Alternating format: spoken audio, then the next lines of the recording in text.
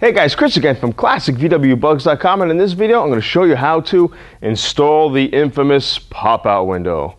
What we got here is a 1954 oval window ragtop beetle as part of our Build-A-Bug projects for a client of ours.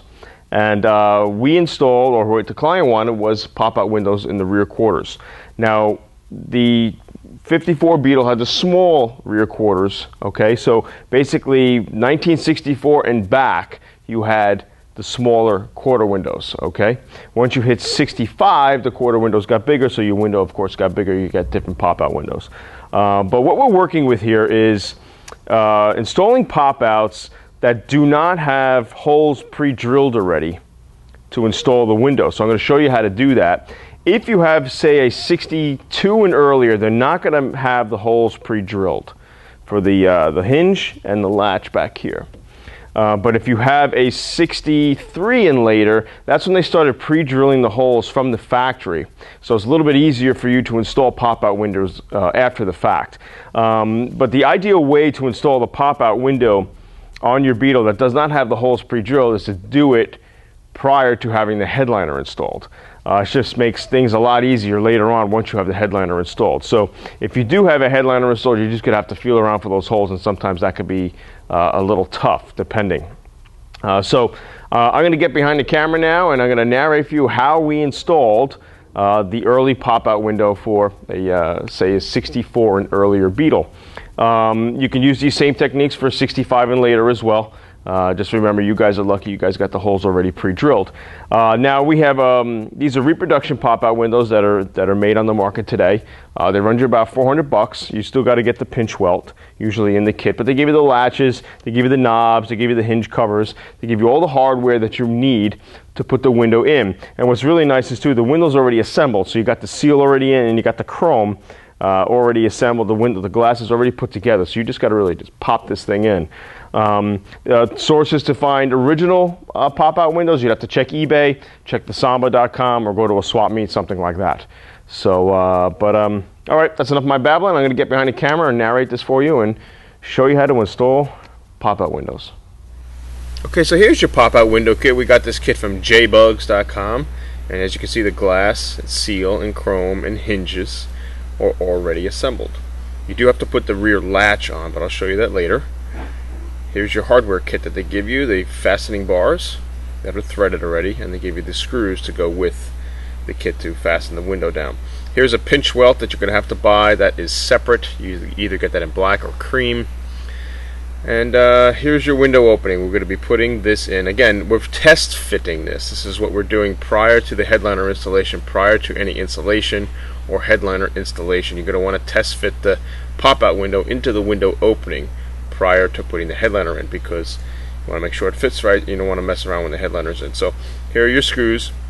These are the first screws we're going to want to put in to attach the latch on the back end of the quarter window. So just fasten those down. These latches are labeled left and right. So you want to fasten that down. And then you're going to want to open up your drill bit set and take a look at what drill you're going to need for uh, those screws to fasten through the body. Then we're also going to need a punch like this to get a starter hole going or a dimple. So we're test fitting the small screw in which hole which drill bit to use to get the hole going. And it's going to be the 5 30 seconds drill bit. So again, if you have a 63 and later Beetle, you're going to have the holes probably already uh, pre-drilled. So this is for 62 and earlier. But what I'm showing you here is you're going to want to lube the seal and lube the window opening so the seal fits in nicely. So you can just get some WD-40 or some silicone and basically rub it around the window opening and on the seal. Put it liberally on. And then you're going to need two people for this job. So one guy on the outside, one guy on the inside, and uh, basically set it up into place. And you want to make sure it's even all the way around, so the chrome is even, the ribs are shown evenly from top to bottom. You don't want it up too high or too low. As you can see here, the ribs are shown perfectly all the way around the window opening. And you're going to want to get the hinge over that lip in the window opening right there to get it started. Then come on the outside and make sure the window sits evenly all the way around the opening. You don't want any gaps or any holes because then when you fasten that window down there might be a hole and then when it starts raining you got you got water coming in so got to make sure that seals all the way around but what I did here is I get a, a block of wood and a hammer and I hammer that hinge as close as it can be to that lip on the window opening there and then I get my starter punch to basically make a dimple into the metal as you can see I press and it clicks and what that does is make a dimple into the metal to get my uh, uh, drill bit seated properly without it wandering and I get my drill bit and I start drilling the holes. Now we keep the window in place because it's a good guide and I recommend you doing this because that also then protects the body on the outside. I've done this once before where I drilled through and I slipped and sure enough I wound up scratching the body on the outside. The window in place here is a good idea uh, so that'll keep your bit from, uh, from traveling. Now here are the screws you're going to need to fasten into these plates. Now I'm going to show you there's a problem with this sometimes.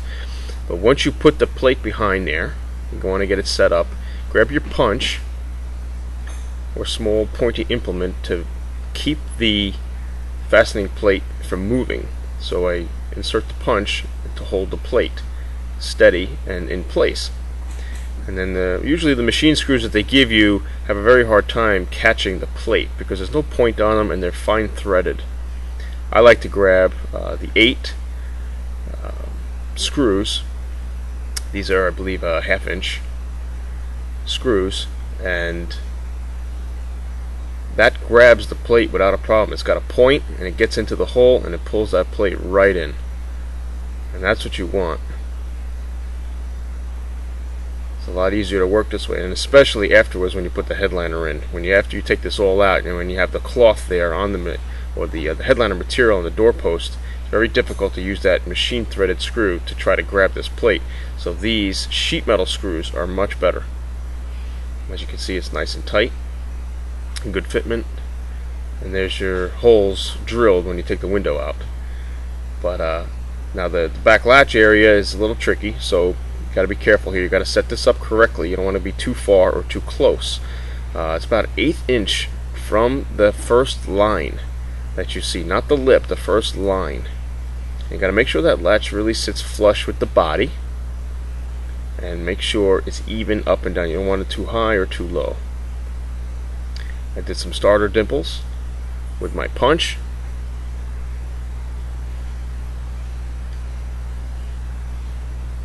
Can see here. And just test fit it one more time. You don't want to mess this up here. This is crucial.